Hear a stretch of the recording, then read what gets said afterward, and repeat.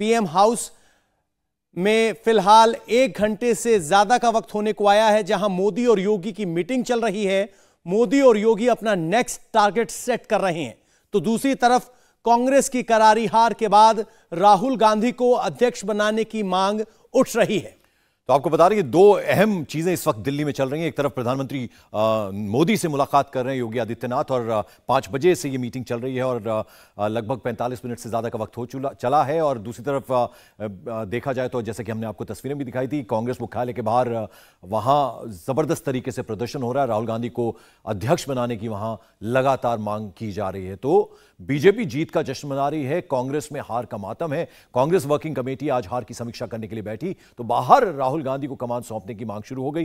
कांग्रेस मुख्यालय में working committee की मीटिंग चल रही है।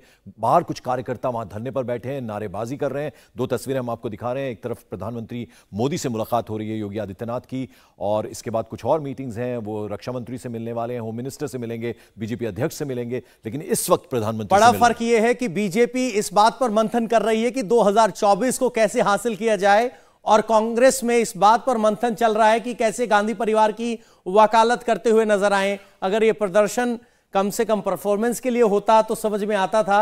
यही सबसे बड़ा कंट्रास्ट इन दो तस्वीरों में देखा जा और डेमोक्रेसी की हमेशा बात होती है लोकतंत्र की एक तरह से बात होती है। कहा जाता है कि आ, हम जो है पूरे रूल्स एंड रेगुलेशंस के साथ चलेंगे लेकिन ये स्क्रिप्टेड लगता है पवन हर बार। आ, जैसे ही आज मुकुल वासनिक का नाम सामने आया कपिल सिब्बल गुलाम नबी आज़ाद आनंद शर्मा की तरफ़ से जी ट्वेंटी के लीडर्स की तरफ़ से तो सिरे से उसे नकार दिया गया। और अब यहाँ पे जो प्रदर्शन हो रहा है। ज़मीन पर रहे हैं हमने सब प्रदर्शन कवर किए हैं ये सब कुछ नेताओं को अपीज करने के लिए ब्राउनी पॉइंट्स हासिल करने के लिए करवाए जाने वाले प्रदर्शन हैं। चलिए, आनंद हमारे साथ है। आनंद, अब लगभग एक घंटा होने को आया है। योगी आदित्यनाथ की जो प्रधानमंत्री नरेंद्र मोदी से मुलाकात चल रही है। जी बिल्कुल लगभग एक घंटा हो गया प्रधानमंत्री नरेंद्र मोदी और योगी आदित्यनाथ के बीच में जो मुलाकात चल रही है उसमें। और जैसा कि हमने बताया कि सबसे पहले जैसे ही योगी आदित्यनाथ पहुँचे तो उन्होंने, उनको प्रधानमंत्री नरेंद्र मोदी ने जीत की बधाई दी और योगी आदित्यनाथ ने भी प्रधानमंत्री का अभिवादन किया और धन्यवाद दिया कि जिस तरह से प्रधानमंत्री नरेंद्र मोदी ने अपने बिज़ी शेड्यूल में उत्तर प्रदेश में कैंपेन करने के लिए समय निकाला, उसको लेकर योगी आदित्यनाथ की तरफ़ से प्रधानमंत्री नरेंद्र मोदी को धन्यवाद दिया गया। और साथ ही साथ प्रधानमंत्री नरेंद्र मोदी ने उनका मार्गदर्शन भी किया कि कैसे अब आगे सरकार के कामकाज को ले जाना है। क्योंकि प्रधानमंत्री नरेंद्र मोदी बार बार ये कहते हैं कि जीत या हार पड़ाव नहीं होता है और वहाँ आपका सफ़र खत्म नहीं हो जाता है। यानी कि आपको जनता ने जो जिम्मेदारियाँ दी है जो उम्मीदें दी है उसको पूरा करना है और ऐसे में जब सामने 2024 के लोकसभा चुनाव हो तो ऐसे में ज़िम्मेदारी ज़्यादा बढ़ जाती है और ऐसे में योगी आदित्यनाथ को दो साल के अंदर ही डिलीवर करना होगा उन वादों डिलीवर करने की आप बात कर रहे हैं आनंद इस बार चूँकि विपक्ष बहुत ज़्यादा मज़बूत है। तो ऐसे में और चैलेंजेस बढ़ते हैं। तो पहले छह महीने बहुत क्रूशल रहने वाले हैं। जी बिल्कुल, और बीजेपी का जो संकल्प पत्र था, जो बीजेपी ने चुनाव के पहले जनता से वादे किए थे, कहीं ना कहीं वो वादे जो है जनता 2024 के लोकसभा के चुनाव की कसौटी पे भी उनको कसेगी और देखेगी कितने वादे पूरा हुए।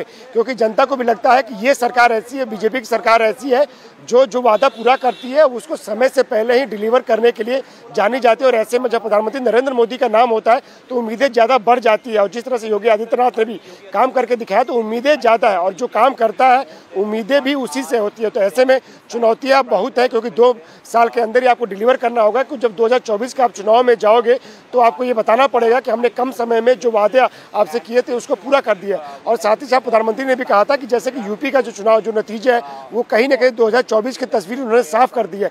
लेकिन उसका मतलब ये नहीं है कि इस जीत के बाद बैठ जाया जाए। जनता के बीच फिर से जाना है, जो सरकार को तेज़ी से काम करना है, और साथ ही साथ जो वादे किए हैं, उसको पूरा करना ताकि हर जनता के पास जो राहत है और जो उनको सहूलियतें सुविधाएँ चाहिए जो विकास का जो वादा किया गया उन तक पहुँचे। तो ऐसे में ज़रूर ही ऐसा मार्गदर्शन प्रधानमंत्री नरेंद्र मोदी की तरफ़ से योगी आदित्यनाथ को दिया जाएगा। और ज़ाहिर है हम उम्मीद कर रहे हैं कि योगी आदित्यनाथ जब इस बारे में निकलेंगे वहाँ से तस्वीर का भी हम इंतज़ार कर रहे हैं। कुछ देर में तस्वीरें भी पीएमओ से ट्वीट होंगी दोनों की मुलाकात की। और उसके बाद जो जी आनंद आपके पास हम लौटते हैं। आप नज़र बनाए रखिए हम वापस आपके पास लौटेंगे। इस वक्त कुछ खास मेहमान हमारे साथ जुड़ गए हैं। सैयद ज़फ़र इस्लाम प्रवक्ता है बीजेपी के वो हमारे साथ हैं। उसके अलावा अजय आलोक जेडीयू के प्रवक्ता हमारे साथ जुड़ गए हैं। आपका बहुत बहुत स्वागत। हमारे साथ साथ ही साथ संजय गुप्ता जी भी संजय कुमार जी भी जुड़ गए हैं और पवन हमारे साथ त्रिपाठी जी भी इस वक्त हमारे साथ हैं। शुरुआत ज़फ़र इस्लाम साहब से कर लेते हैं। ज़फ़र इस्लाम साहब 2024 से पहले 24 महीने हैं। तो क्या ये 24 महीने इस कैबिनेट नई जो कैबिनेट बनेगी उसमें रिफ्लेक्ट होंगे ताकि एक टारगेट सेट हो कि 24 को कैसे फतेह किया जाए?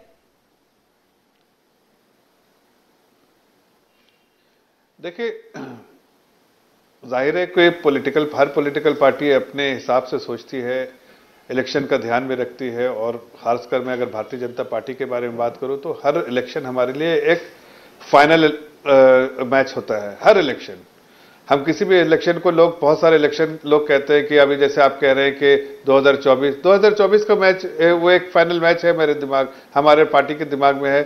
अभी भी फाइनल मैच था, कोई सेमीफाइनल और कोई क्वार्टर फाइनल नहीं होता हमारे यहाँ। हर मैच को फाइनल की तरह देखते हैं, हर मैच हर इलेक्शन को इलेक्शन की तरह लड़ते हैं पूरी मजबूती के साथ, पूरी दमखम के साथ, जितनी ताकत है, लगाते हैं। इसलिए कि हम जनता की सेवा करने के चाहते हैं, हमारा लक्ष्य के देश को देश को मज़बूत बनाना है, जनता को जनता को मज़बूत बनाना है, देश को सुरक्षित बनाना है, और जो भी जनता की अपेक्षाएँ हैं, उम्मीदें हैं, उस पर खड़े उतरना है। इसलिए हर बार जनता, जब भी कोई मैनिफेस्टो बनता है तो जनता से फीडबैक लिया जाता है।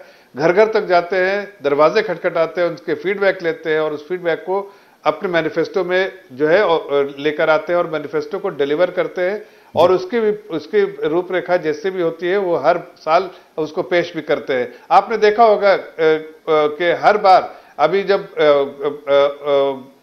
कोरोना हुआ उससे पहले तक आपने देखा होगा हर साल हमने साल के खत्म होते ही जो अपना लेखा जोखा रखते हैं जनता के सामने कि ये ये हमारा मैनिफेस्टो था इस साल हमने इतने काम किए अभी मैनिफेस्टो के ये काम बचे हुए हैं अब इस काम को आगे करने की पेशकश हमारी ये है। ताकि जनता जिसने जिस उम्मीद से हमें मौका दिया है इस वो उम्मीद पे हम खड़े बिल्कुल ज़फ़र भाई जरा मैं एक बार हम तमाम मेहमानों से थोड़ा थोड़ा बात कर लें फिर जरा और आपसे बात करेंगे। आ, मैं जरा एक और परिचय करा दूँ। ऋषि बागड़ी साहब राजनीतिक विश्लेषक हमारे साथ हैं। हर्षवर्धन त्रिपाठी जी वरिष्ठ पत्रकार हमारे साथ हैं। संजय कुमार जी जरा अब आपके पास मैं आना चाहूँगा। देखिए अगर इस जीत को देखे जिस तरह की शानदार बंपर जीत मिली है बीजेपी को कौन कौन से मुद्दे आपको लगता है? देखिए, किसान जो आंदोलन है, उसको एक मुद्दा बनाया गया, वो नेरेटिव चलाया गया विपक्ष की तरफ़ से, वो काम नहीं आया।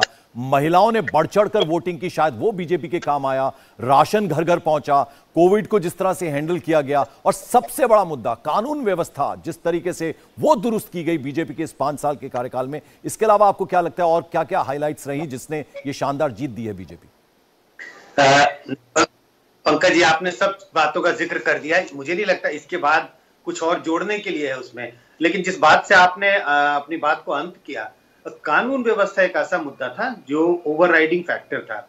बाकी जिन चीज़ों का आपने ज़िक्र किया कि महिलाओं का वोट बीजेपी की तरफ़ झुका हुआ दिखाई पड़ा, लाभार्थियों का वोट बीजेपी की तरफ़ झुका हुआ था, ऐसे तमाम मुद्दे थे। तीन चीज़ों का मैं ज़रूर ज़िक्र करना चाहूँगा, जिस पर सरकार के परफॉर्मेंस की बहुत अच्छी रेटिंग है। सड़क, बिजली और पानी। इन सब चीज़ों का भी फ़ायदा हुआ। बड़े बड़ी संख्या में लोग ये कहते हैं कि इन सब चीज़ों में सुधार हुआ है। हालाँकि सरकार पर असंतुष्टि दो तीन चीज़ों पे भी जताई गई। अगर बेरोजगारी की बात करें तो लोग ये भी मानते थे कि बेरोजगारी बढ़ी है महँगाई बढ़ी है। आ, सरकारी स्कूल सरकारी अस्पतालों के बारे में लोगों की चिंताएँ साफ़ नज़र आती हैं। लेकिन कुल मिला के जो पॉजिटिव चीज़ें इतनी थी सड़क बिजली पानी राशन सुशासन इन सब चीज़ों का मिला जुला असर जो है वो नतीजों में दिखाई पड़ रहा है। लेकिन मैं अपनी बात को दोहराऊँगा कि लॉ लॉ एंड ऑर्डर जो कानून व्यवस्था क्योंकि हर व्यक्ति ये सोचता था महँगाई पर काबू किया जा सकता है। बेरोजगारी आज है कल खत्म तो नहीं होगी लेकिन ऊपर नीचे होता रहेगा।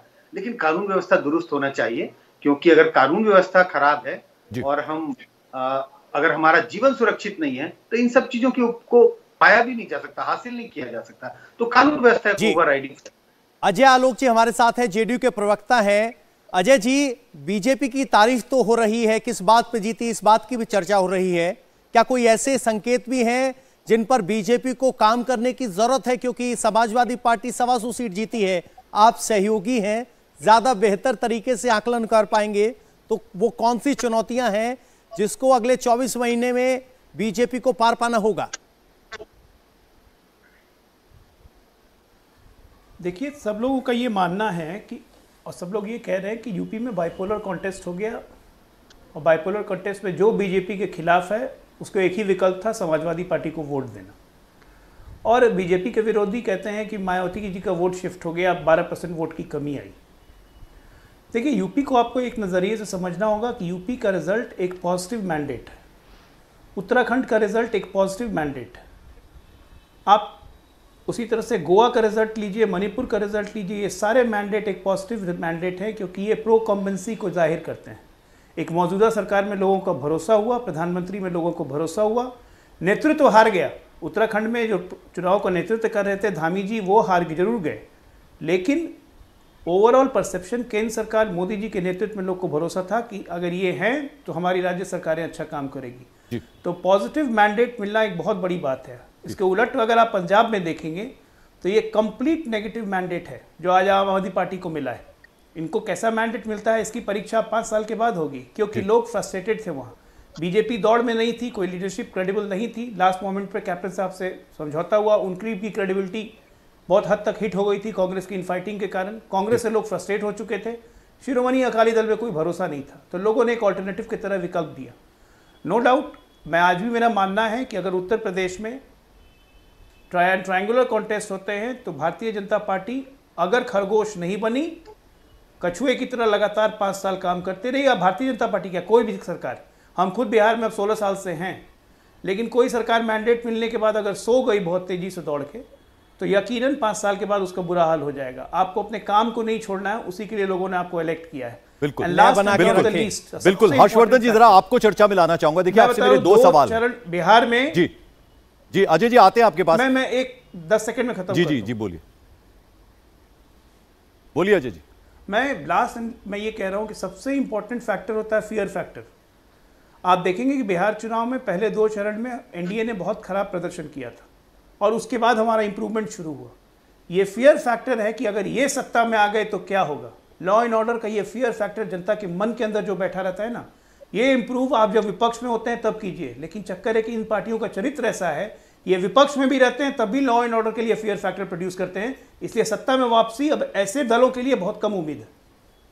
बिल्कुल। हर्षवर्धन जी, देखिए, वो दिन हमें अच्छे तरीके से याद है जब चुनावों से पहले योगी आदित्यनाथ दिल्ली आए थे। बहुत सारे सवाल विपक्ष ने उठा दिए थे कि अब उनकी छुट्टी होने वाली है, वापस वो जाकर मंदिर में बैठेंगे। इस तरह की बातें तो उनको कहीं ना कहीं योगी आदित्यनाथ ने एक बड़ा जवाब दिया। आज वो एक बार फिर प्रधानमंत्री से इस शानदार जीत के बाद मिलने पहुँचे। और देखिए, जो स्मार्ट सिटीज़ की बात होती है, पहले की सरकारें जो है, उत्तर प्रदेश के परिप्रेक्ष्य में अगर मैं बात करूँ तो लखनऊ को चमकाती थी। लेकिन आप चूँकि प्रयागराज से आते हैं, पूरा उत्तर प्रदेश को आप बहुत अच्छे से जानते हैं तो अगर मैं आपसे प्रयागराज की बात करूँ, देखिए बनारस किस तरह से बदला है, ये जो शहरों की शक्ल बदल रही है, इन पाँच सालों में जो बदल रही है, जो कोशिशें हो रही हैं, उसके बारे में जरा आपसे जानना चाहें।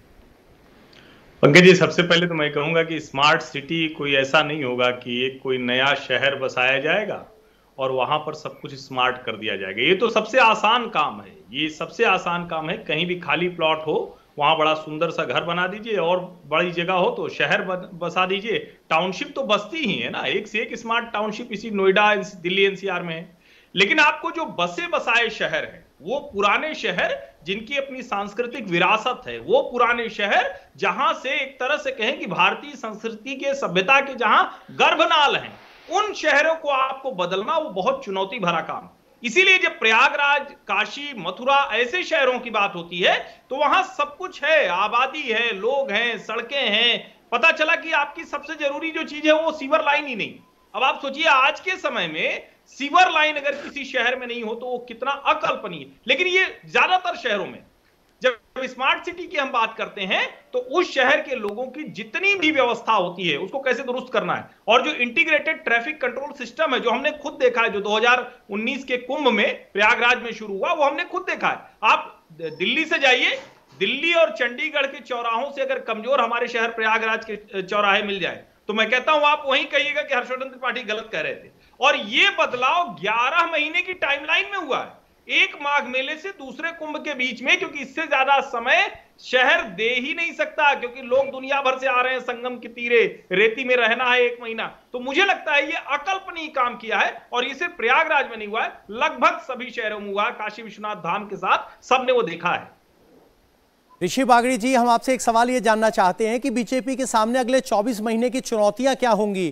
क्योंकि मोदी जी जब संबोधित कर रहे तो कह रहे थे कि जो जो ज्ञानी लोग कह रहे थे कि 22 का मैंडेट सत्रह का मैंडेट 19 की नींव है तो क्या ये मैंडेट 24 की नींव रहे? उसके लिए चुनौतियाँ क्या होंगी? क्योंकि सफलता की बात तो सब कर रहे हैं। देखिए, उत्तर प्रदेश अब मुझे लगता है कि मोदी जी के लिए और भाजपा के लिए एक मॉडल स्टेट हो गया है। मॉडल स्टेट इसलिए है क्योंकि अगर आप देखो 2017 में सवा तीन करोड़ वोट्स आए थे उनको। आज वो वोट्स बढ़ के तीन करोड़ अस्सी लाख हो गए, पचास लाख वोट बढ़े। तो ये कोई छोटी बात नहीं है। अखिलेश जी ने अच्छा प्रदर्शन किया है बट उन्होंने अच्छा प्रदर्शन उन वोट वहाँ से वो वोट लेकर आए जो पार्टी कमज़ोर होती गई। लेकिन वो भाजपा से खींच नहीं पाए, भाजपा का वोट बड़ा है। तो इसके कुछ कारण है। वो कुछ कारण ये है कि उन्होंने काफ़ी काम किया डेवलपमेंट किया है फ्री में फ्रीबीज भी दिए हैं और उन्होंने एक रकम से कमंडल, मंडल प्लस आपके फ्री बीस प्लस डेवलपमेंट ये तीन चीज़ को जोड़ दिया है। और इसी को वो अब ये मॉडल जो काफ़ी सक्सेसफुल हो गया है उत्तर प्रदेश में, और उत्तर प्रदेश को एक छोटा इंडिया बोला जाता है तो यही मॉडल मुझे लगता है कि हर जगह रिप्लीकेट होगा। आपके हर जगह रोड्स बनेगी आपके हर जगह मेडिकल कॉलेजेस बनेगी आपको अनएम्प्लॉयमेंट जो अब बहुत लोग बोलते हैं कि ये उत्तर प्रदेश में बेरोजगारी थी तो भैया सीएमआई ई का डेटा देख लीजिए। सत्रह परसेंट की बेरोजगारी 2017 का डेटा था। आज वो बेरोजगारी की दर तीन परसेंट है। वहीं बगल में राजस्थान आप देख लीजिए तैतीस परसेंट की बेरोजगारी है। ये सीएमआई ई वही संस्था है जिसके राहुल गांधी जी बार बार उसको कोट करते हैं। कांग्रेस मित्र हमारे बार बार कोट करते हैं। आप एक्सप्रेस वे देख लो आप टोटल टोटल एक्सप्रेस वे 2017 तक उत्तर प्रदेश में सिर्फ़ साढ़े चार सौ किलोमीटर थी। आज वो 1300 किलोमीटर एक्स्ट्रा बन गई है। आप मेडिकल कॉलेजेस देख लो 2017 तक सिर्फ़ 12 मेडिकल कॉलेज थी। आज वो 60 मेडिकल कॉलेजेस हो गई है। आप आप जीडीपी का देख लो आंकड़ा दो नंबर पे पहुँच गया है। आप ईज ऑफ़ बिज़नेस देख लीजिए 12 से दो तक पहुँच गया तो ये सारे आंकड़े धीरे धीरे ठीक होते गए। आज एक भी करप्शन का मतलब ये मैं मैं इसको बहुत क्लोजली मॉनिटर कर रहा था ये इलेक्शन को। लेकिन अखिलेश जी ने एक भी, एक एक भी करप्शन का मुद्दा योगी जी के खिलाफ नहीं बिल्कुल तो ये बहुत बड़ी अचीवमेंट है शायद उसी का इनाम भी मिला। ज़फ़र भाई जरा आपको चर्चा में वापस में लाना चाहूँगा। देखिए प्रधानमंत्री से मुलाकात कर रहे हैं लगभग एक घंटे से भी ज़्यादा का वक्त हो गया है। इसके बाद तीन और अहम बैठकें हैं। जेपी नड्डा जी से मुलाकात करेंगे फिर अमित शाह जी से मुलाकात करेंगे और रक्षा मंत्री जी से भी मुलाकात करने वाले हैं योगी आदित्यनाथ। तो ज़ाहिर बात है उसमें जीत की बधाइयाँ उन्हें मिल रही हैं वो न्यौता दे रहे होंगे शपथ ग्रहण के लिए। लेकिन आज शाम तक शायद देर शाम तक ये क्लियर हो जाएगा कि किस तरह का खाका सरकार का होगा। शायद उस उसमें आप बेहतर बता पाएँगे, लेकिन धर्म और जाति, हमने उससे हटकर विकास के नाम पर चुनाव लड़ा, हमने जो गुंडागर्दी को खत्म किया, कानून व्यवस्था को दुरुस्त किया, अक्सर आप लोग ये बातें करते थे और इसी का हमें इनाम मिलेगा। महिलाओं ने बढ़ चढ़कर वोट दिया है आपको और राशन जो घर घर पहुँचाया है। लेकिन अब जब सरकार बनेगी तो ये तमाम जो जातीय समीकरण है, उसका ख्याल रखा जाएगा। मुस्लिमों की भागीदारी होगी, महिलाओं की भागीदारी होगी और अनुभव और साथ साथ जो युवा हैं, उनको भी प्रतिनिधित्व मिलेगा। इस पर क्या कहेंगे आप? देखिए, ज़ाहिर है हमारी सरकार ने, हमारी पार्टी ने बराबर इस तरह की सोच रखी है कि सबको मौका देना चाहिए। सबका साथ, सबका विकास का जो हमने नारा दिया है, उसको अगर ज़मीन में उतारने का काम किसी ने किया है तो हमारी पार्टी ने किया है कि वाकई सभी वर्गों को साथ लेके चले और सभी वर्गों के लिए काम किया है। हमारे, हमारा जो मुख्य बिंदु रहता है, हमारी सरकार का, वो विकास रहता है और विकास और सबका साथ ये हम लेके जो इस बिंदु को लेके साथ आगे बढ़ते हैं तो उसमें किसी, कभी भी ये नहीं सोचा कि इनको छोड़ना है, इनको लेना है, इनको नहीं देना है, चाहे वो महिलाएँ हैं, उनको भी एम्पावर करना है, एक आम नागरिक को एम्पावर करना है, चाहे वो यूथ है तो उनके लिए करना है, सभी के लिए करना है। तो आगे जब, कोई भी जब मंत्रिमंडल का जब गठन होगा तो उस वक्त ये सारी चीज़ें उसकी झलक दिखेंगे आपको। लेकिन आज जो मेरे ख्याल से आदरणीय मुख्यमंत्री जी जब आए हैं आदित्यनाथ जी तो वो ये ये बिल्कुल कटसी मीटिंग के लिए आए हैं। सभी से इलेक्शन के बाद वो जीत दर्ज की भारतीय जनता पार्टी ने तो ये एक कटसी मीटिंग के लिए सभी से हो सकता है कि आज इस पर कोई चर्चा ना जो आप जिसके बारे में कह रहे हो, उस पर कोई चर्चा ही नहीं हो रही होगी, इसलिए कि कटसी मीटिंग है। इस पर कोई विचार, विमर्श आज आज शायद ना हो, इसलिए कि पार्लियामेंट्री बोर्ड जो है वो बैठती है और उस पर वो डिस्कशन होता है, लेकिन फिर भी वो सभी लोगों से मिल रहे हैं हो सकता है कुछ बातें हो भी अपनी तरफ़ से वो बातें कह भी सकते हैं। लेकिन जो जो जो मीटिंग का जो मकसद है वो कटसी मीटिंग है। सबको धन्यवाद देने गए होंगे जो जीत के बाद सबका धन्यवाद देने गए होंगे। इसलिए कि सभी ने बहुत परिश्रम किया इस इलेक्शन में।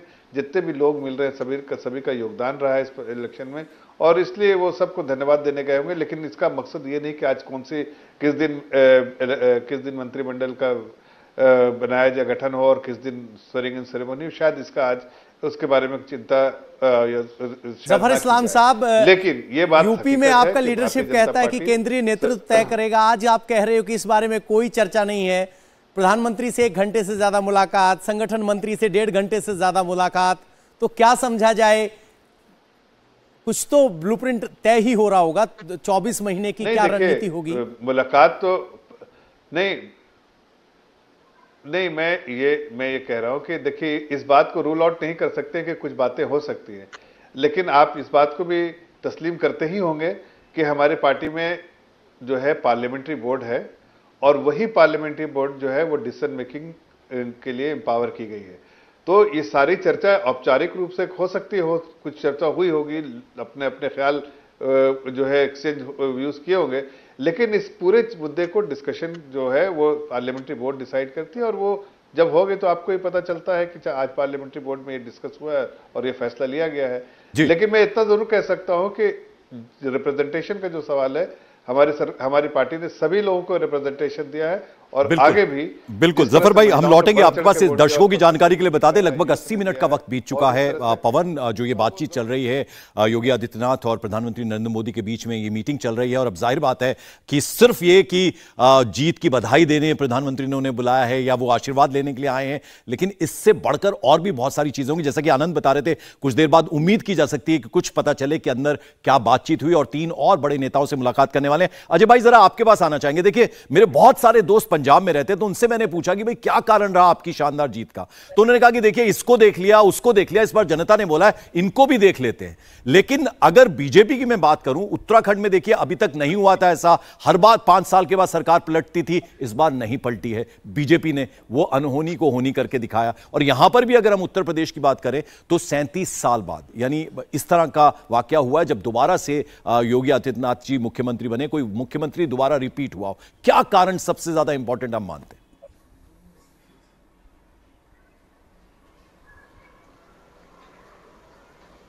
अजय भाई अजय आलोक जी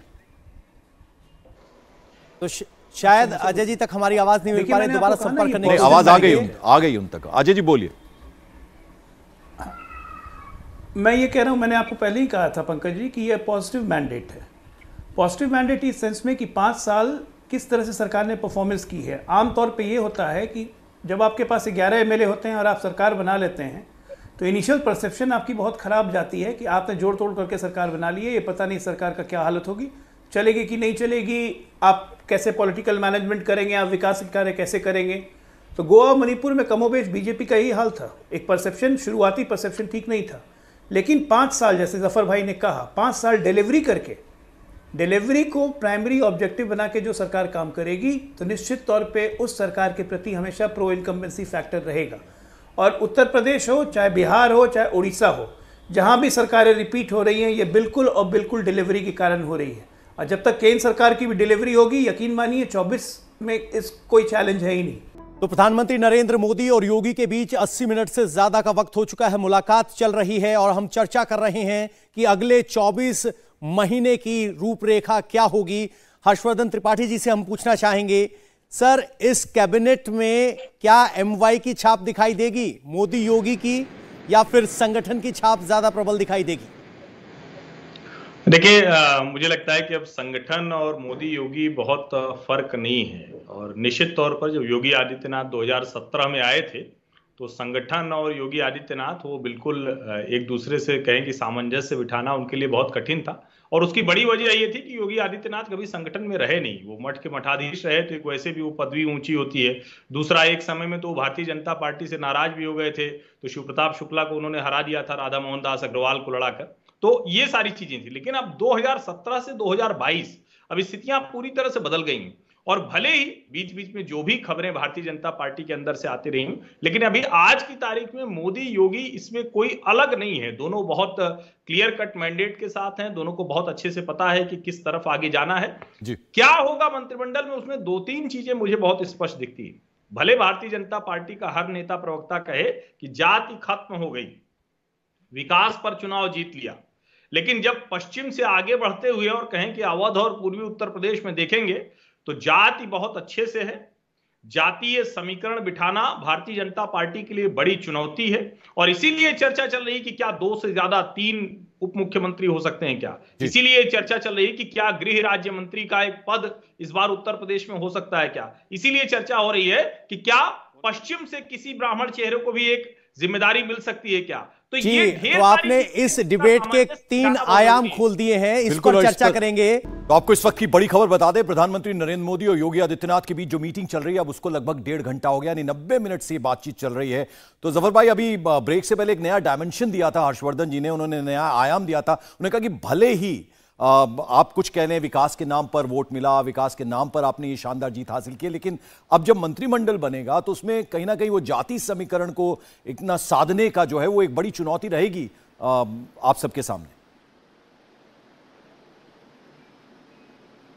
देखिए, हर्षवर्धन जी बहुत ही वरिष्ठ पत्रकार हैं, और ज़ाहिर है उनकी ऑब्जर्वेशन कोई किसी न किसी सोच के साथ है, लेकिन मैं इतना ज़रूर कह सकता हूँ कि ये हमारे वरिष्ठ लीडरशिप जो है, वो सभी चीज़ों का ध्यान रखते हुए जो मंत्रिमंडल में हमने कहा कि सभी वर्गों को ज़रूर उसमें अकोमोडेट करने की कोशिश करते हैं।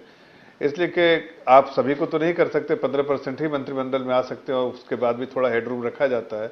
तो जितना ज़्यादा से ज़्यादा लोगों को अकोमोडेट कर पाते हैं सरकार और सरकार के ऑब्जेक्टिव को ध्यान में रखते हुए कि ये डिलीवर करना है उसकी जो कॉम्पिटेंसी में कितने लोग बैठते हैं, उसको ध्यान में रखते हुए सभी को जितना जगह दिया जा सकता है दिया जा सकता है लेकिन ये सिर्फ़ नहीं है मंत्र हमारा मैं फिर से कह रहा हूँ कि जाति को ही रिप्रेजेंटेशन देना है ऐसा नहीं।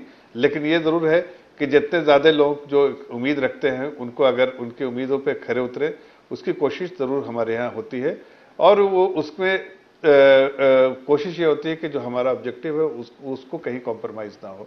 और ऑब्जेक्टिव यही है कि हम विकास के रास्ते चलेंगे तेज़ी से दौड़ेंगे अभी आपको जो वहाँ पर बैठे हुए हैं पॉलिटिकल एनालिस्ट उन्होंने आपको कुछ आंकड़े भी बताए थे कि किस तरह से किस रफ्तार से हमारी जो है वहाँ की इकोनॉमी जो बढ़ रही है उत्तर प्रदेश के खास के जबकि स्टेटेड ऑब्जेक्टिव अगर आप देखिए सरकार का तो उन्होंने कहा है बहुत कि नेशनल जीडीपी में 20 परसेंट कंट्रीब्यूशन जो है वो उत्तर प्रदेश का होगा चार परसेंट पाँच परसेंट में शुरू किया था आठ परसेंट पे है अभी। आगने वाले दिनों में अगर जो एस्पिरेशन है सरकार का गवर्नमेंट ऑफ़ इंडिया का कि पाँच ट्रिलियन डॉलर इकोनॉमी हो तो एक ट्रिलियन डॉलर इकोनॉमी जो कंट्रीब्यूशन जो है उत्तर प्रदेश रहेगा उस दिशा में काम सरकार कर रही है कई इनिशिएटिव लिए ठीक है ज़फ़र भाई हम हमारे साथ दो पॉलिटिकल एक्सपर्ट्स भी हैं और संजय जी हमारे साथ हैं ऋषि जी हमारे साथ हैं उनसे भी हम चर्चा करेंगे। अजय आलोक जी भी हमारे साथ बने हुए हैं। तो उत्तर प्रदेश में शानदार जीत हासिल करने के बाद योगी आदित्यनाथ आज दिल्ली में अब से कुछ देर पहले यानी करीब डेढ़ घंटे से प्रधानमंत्री नरेंद्र मोदी के साथ उनकी मीटिंग चल रही थी जो अभी खत्म हुई है। योगी आदित्यनाथ अभी अभी बाहर आए हैं। उन्होंने बाकायदा ट्वीट प्रधानमंत्री ने इसको लेकर किया है। प्रधानमंत्री ने लिखा कि आज योगी आदित्यनाथ जी से भेंट हुई है और इस भेंट के बारे में उन्होंने कहा कि पहले ये बात जो थी मीटिंग जो थी 45 मिनट तक ये प्रस्तावित थी, लेकिन जब ये शुरू हुई तो 45 मिनट की मीटिंग तो पौने, लगभग पौने दो घंटे के बाद खत्म हुई है और योगी आदित्यनाथ बाहर निकलते हुए नज़र आ रहे हैं। पवन। जी, बिल्कुल, पौने दो घंटे तक ये बातचीत हुई है तो कम से कम इसे कर्सी मीटिंग से नहीं कह सकते, उससे ज़्यादा भी चर्चा रही होगी। हम अपने पैनल के पास चलना चाहते हैं, चूँकि आनंद के पास पहले चलते हैं। आनंद क्या जानकारी हम देख रहे हैं? योगी आदित्यनाथ बाहर आए हैं अभी। जी बिल्कुल, लगभग पौने दो घंटे दोनों के बीच में बैठक चली है और जो प्रधानमंत्री ने खुद ट्वीट करके इस मुलाकात की तस्वीर भी साझा की है और आप उस तस्वीर में देख सकते हैं कि प्रधानमंत्री नरेंद्र मोदी और योगी आदित्यनाथ का जो बॉडी लैंग्वेज है, वो कैसा बॉडी लैंग्वेज है? दोनों खुश हैं, दोनों के चेहरे पर मुस्कान है और साथ में प्रधानमंत्री नरेंद्र मोदी ने खुद लिखा भी है कि आज योगी आदित्यनाथ जी से मुलाकात हुई, उन्हें उत्तर प्रदेश चुनाव में मिली जी ऐतिहासिक जीत की बधाई दी। बीते पाँच वर्षों में उन्होंने जन आकांक्षाओं को पूरा करने के लिए बहुत परिश्रम किया है और मुझे विश्वास है कि आने वाले वर्षों में वो राज्य को विकास की ओर की और अधिक ऊंचाइयों आनंद जरा ये समझाए तो पैंतालीस मिनट की ये मीटिंग थी प्रस्तावित और वो पौने दो घंटे चली है। जी, बिल्कुल, और जैसे कि ये बैठक थी, लगभग 45 मिनट से लेकर एक घंटे तक के लिए थी, लेकिन ये करीब पौने दो घंटे तक ये बैठक चली और दोनों नेताओं ने जब बात करनी शुरू की तो जैसा कि प्रधानमंत्री जब बात करते हैं तो कोई भी उनके सामने हो, वो अपना समय भूल जाता है, क्योंकि प्रधानमंत्री से एक तो वक्त मिलना, उनकी बात को सुनना, जो एक अपना एक अलग ही अनुभव होता है, और ऐसे में जब योगी आदित्यनाथ दूसरी बार चुनकर आए हैं, उनके सामने चुनौतियाँ बड़ी हैं, लोगों की उम्मीदें बहुत हैं, और ऐसे में प्रधानमंत्री नरेंद्र मोदी ने जिस तरह से गुजरात का न सिर्फ़ उन्होंने नेतृत्व दिया, बल्कि अब देश का भी नेतृत्व दे रहे तो ऐसे में प्रधानमंत्री नरेंद्र मोदी से उनके अनुभव सुनना और उनसे गाइडेंस लेना, मार्गदर्शन लेना हर कोई चाहता है। तो ऐसे में जो ये बैठक पहले सिर्फ़ पैंतालीस मिनट के लिए प्रस्तावित थी, वो लगभग पौने दो घंटे खिंच गई, क्योंकि योगी आदित्यनाथ लगातार प्रधानमंत्री नरेंद्र मोदी की बातचीत को सुनते रहे, उनसे मार्गदर्शन लेते रहे, क्योंकि अब उसी तर्ज पर उनकी आकांक्षाओं के अनुरूप प्रधानमंत्री नरेंद्र मोदी ने जो उनको मार्गदर्शन दिया है योगी आदित्यनाथ अब आगे काम करेंगे और जब ऐसे में, जब दो साल बाद ही लोकसभा के चुनाव है तो ऐसे में दबाव ज़्यादा बढ़ जाता है योगी आदित्यनाथ के सामने, क्योंकि उनको डिलीवर करना होगा। हालाँकि उनका कार्यकाल पाँच साल का होगा, लेकिन उनको दो साल के अंदर ही डिलीवर करना होगा, उनको दिखाना होगा कि जो उन्होंने संकल्प पत्र वादे किए हैं, उसको हम डिलीवर कर रहे हैं। क्योंकि जब 2024 का लोकसभा के चुनाव होंगे तो लोग उनको उसी कसौटी पर कसेंगे और उनका उस पर आकलन करेंगे। तो ऐसे में ये बैठक पैंतालीस मिनट की जो थी, वो लगभग पौने दो घंटे खींची और जो तस्वीर में, जो जो प्रधानमंत्री नरेंद्र मोदी ने खुद ट्वीट किया है उससे पता चलता है कि कैसी दोनों के बीच में कैसे वातावरण, कैसे सौहार्दपूर्ण वातावरण में बातचीत हुई और जब दोनों ही जीत करा है। प्रधानमंत्री नरेंद्र मोदी का नाम था, चेहरा था, लेकिन योगी आदित्यनाथ का भी काम था, उनका भी चेहरा था। तो ऐसे में जब दो विजेता मिले तो जो समय की सीमा थी, ऐसा कहते हैं लगता है कि समय की सीमा ना रही और ये पैंतालीस मिनट की जो बातचीत थी, वो पौने दो घंटे तक खिंच गई। धन्यवाद आनंद आपका। अब चर्चा का रुख करते हैं। हमारे साथ हमारे सभी मेहमान बने हुए हैं। ऋषि बागड़ी जी, आपके पास मैं आना चाहता हूँ। यूपी के 403 सीटों में जात की हमने बात कर ली, चेहरे की बात कर ली, लेकिन एक बात यह है कि 403 सीटों का विस्तार बहुत है। तो वो कौन सा इलाका है जो बीजेपी के लिए सरप्राइज़ रहा और कहा, क्या उस सरप्राइज़ को अब रिप्रेजेंटेशन के ज़रिए रिवॉर्ड किया जाएगा? जी, सबसे ज़्यादा सरप्राइजिंग आपको रहा वोमेन वोटर, जो महिला वोटर्स है। महिला वोटर्स ने अपने कास्ट के बैरियर को तोड़ते हुए भाजपा को वोट दिया। सो दैट इज़ अ बहुत बड़ी चीज़ है। एक आपके शहरी वोटर्स है, जो ये बोला जाता था कि शहरी वोटर बहुत नाराज़ है एम्प्लॉयमेंट है, महँगाई है, लेकिन जब आंकड़े आए, तब पता चला कि जो शहरी, जो पचास सीट्स थी शहरी वो शहरी वोटर्स की, उसमें पचास परसेंट का वोट शेयर आया। जो कि एवरेज इनका अगर 41 42 परसेंट का वोट शेयर अगर भाजपा का आया है तो शहरी जगह पे 50 प्रतिशत का वोट शेयर आया था। तो वो एक बहुत इंपॉर्टेंट था कि शहरी वोटर्स महिला वोटर्स आपके दलित वोटर्स ओबीसी वोटर्स सब इनके साथ थे। और इसका एक बहुत सीमत है कि ये लोग अपना वोट की कीमत समझने लग गए। पहले क्या होता था? एक दारू की बोतल दे दीजिए हज़ार पाँच सौ रुपया पकड़ा दीजिए वोट ले लेते थे। अब उनको वोट की कीमत समझी है। सैयद ज़फ़र इस्लाम हाँ। साहब पौने दो घंटे तक मीटिंग चली है प्रधानमंत्री नरेंद्र मोदी और योगी की। अब कर्टसी से ज़्यादा क्या क्या चर्चा हुई होगी? क्या ब्लूप्रिंट या कोई एक लार्जर कॉन्टेक्स्ट दे पाएँगे आप हमें? देखिए, आनंद जी ने, आपके रिपोर्टर जो आनंद जी हैं, उन्होंने बहुत सही कहा कि आदरणीय प्रधानमंत्री जी में एक खास बात है, जो शायद शायद ही किसी एक लीडर में और उस उस उस जगह जहाँ बैठे हैं, उनमें वो ऐसी बात होती है। कई बार ऐसा हुआ होगा लोगों का एक्सपीरियंस हम सभी लोगों का एक्सपीरियंस रहा है कि आपको वक्त, एक समय मिलता है बात करने का, लेकिन जब आप बात जब करते हैं तो प्रधानमंत्री जी बिल्कुल इंटरप्ट नहीं करते ऐसी आदत शायद किसी में नहीं होती है। बिल्कुल आपको सुनते हैं और आपकी बातें जब तक खत्म नहीं होती है, आप सुनते रहते हैं। तो बहुत अच्छे चर्चे हो जब होती है, बहुत अच्छी बातें होती है एक्सपीरियंस आदमी जब बताता है तो आदरणीय प्रधानमंत्री जी कभी बीच में नहीं टोकते, ये इनमें बहुत अच्छी एक आदत है और सुनते हैं लोगों को जो बहुत कम लोग कर पाते हैं। शायद ऐसी आदत नहीं नेग्लेजेबल लोगों में होगी। तो इसलिए अगर उन्होंने पैंतालीस मिनट की बात, जो बात जो पेशकश थी मीटिंग की, इस वजह से चली होगी, इसलिए कि आदरणीय प्रधानमंत्री जी सुन रहे होंगे, आदरणीय मुख्यमंत्री जी को, और कई बातें उस पर चर्चा, एक चर्चे से दूसरे चर्चे पे जो होती है वो होगी लेकिन मैं आपको फिर से बता रहा हूँ कि ये इस मीटिंग का उद्देश्य इतना ही था कि एक कटसी मीटिंग थी और सभी से मिल रहे हैं। ठीक है। संजय जी संजय जी जरा यहाँ आपको मैं चर्चा में लाना चाहूँगा। देखिए परिवार में अगर बच्चा जो है, वो अच्छा पासिंग मार्क्स लेके आता है फ़र्स्ट डिवीज़न लेकर आता है शानदार रिज़ल्ट लेकर आता है तो वो ज़ाहिर बात है अपने घर के बड़ों को बताता है खुशी खुशी योगी जी शानदार जीत हासिल करके आए हैं तो चलिए वो आए हैं ये बताने के लिए और शायद प्रधानमंत्री ने उनको बधाई दी। लेकिन डेढ़ घंटा बहुत ज़्यादा वक्त होता है नब्बे मिनट अगर बातचीत हुई होगी तो क्या बस सिर्फ़ इतनी ही बातचीत हुई होगी? देखिए पंकज जी कमरे के अंदर में बातचीत हुई प्रधानमंत्री जी के बीच में और योगी जी के बीच में बाहर कुछ निकल के तो आया नहीं तो हम सब सिर्फ़ स्पेकुलेशन कर सकते लेकिन आप ज़रूर इस बात का जिस बात को आप उठा रहे हैं आ, मैं भी नहीं मानता कि सिर्फ़ 45 मिनट की जो मुलाकात थी छोटी सी मुलाकात कट सी मुलाकात होती है लेकिन जब इतना लंबा लंबी मुलाकात हुई तो निश्चित रूप से कटसी से कुछ आगे बातचीत हुई होगी। जिन बातों का ज़िक्र किया जा रहा है प्रधानमंत्री को वो ज़रूर बुलाना चाहेंगे अपने शपथ शपथ ग्रहण समारोह में। तो उस तारीखों की चर्चा हुई होगी। प्रधानमंत्री जी से समय लिया गया होगा। मंत्रिमंडल का कुछ स्वरूप, एक बेसिक खाका के बारे में चर्चा हुई होगी।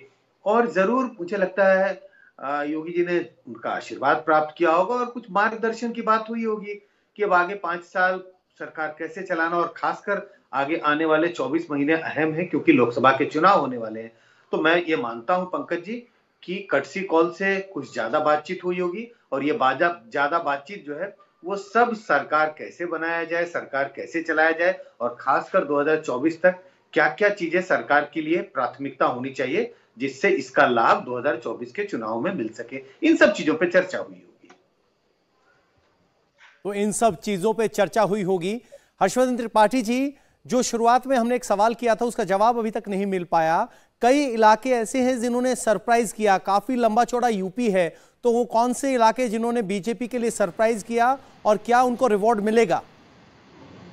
देखिए, मुझे लगता है कि भारतीय जनता पार्टी के लिहाज से अगर कहें तो मोटा मोटा सात चरण के चुनाव थे। और हम सरप्राइज़ अगर कहें तो सरप्राइज़ तो है लखीमपुर खीरी, सरप्राइज़ तो है हाथरस सरप्राइज़ वो जगह हैं जहाँ कोशिश की विपक्ष ने एक बबल क्रिएट करने की एक मुद्दा बनाने की और दुर्भाग्य से उसमें बहुत से लोगों की जान गई बहुत अमानवीय दृश्य हमने देखे। वो बहुत ही मतलब उससे बर्बर दृश्य हमने नहीं देखे। लेकिन उस सब की बुनियाद वो फर्जी किसान आंदोलन था। और मैं फर्जी इसीलिए कह रहा हूँ कि देखिए किसी भी हिस्से में देश के किसी भी हिस्से से किसान उसके साथ खड़े नहीं हुए। और सिर्फ़ और सिर्फ़ पंजाब का आंदोलन था वो। पश्चिमी उत्तर प्रदेश ने सरप्राइज़ किया। भारतीय जनता पार्टी को जो कहा जा रहा था कि साफ़ हो जाएगी नहीं साफ़ हुई। तो मुझे लगता है कि सभी चरणों में जिस तरह की स्थिति रही है उसमें कोई एक ऐसा चरण नहीं कि उसने भारतीय जनता पार्टी को अलग से बहुत कुछ बिल्कुल बिल्कुल। हर्षवर्धन जी मैं लौटूँगा आपके पास इस वक्त एक बड़ी खबर और दे दें जैसा कि हम आपको बता रहे थे कि अभी तीन और बड़े नेताओं से मिलने वाले हैं योगी आदित्यनाथ। तो अब कुछ देर में प्रधानमंत्री के घर से निकले उनके आवास से निकले तो अब बीजेपी अध्यक्ष जेपी नड्डा से मिलने वाले हैं। अजय आलोक जी आप जरा आपसे भी जानना चाहेंगे 45 मिनट तक चलिए, वो अगर बैठक होती तो हम ये मानते कि योगी आदित्यनाथ आए हैं, शानदार जीत के बाद तो आशीर्वाद लेने के लिए आए हैं और बधाई दी होगी प्रधानमंत्री ने। लेकिन अगर 90 मिनट तक ये बातचीत चली है तो मुलाकात हुई, क्या बात हुई?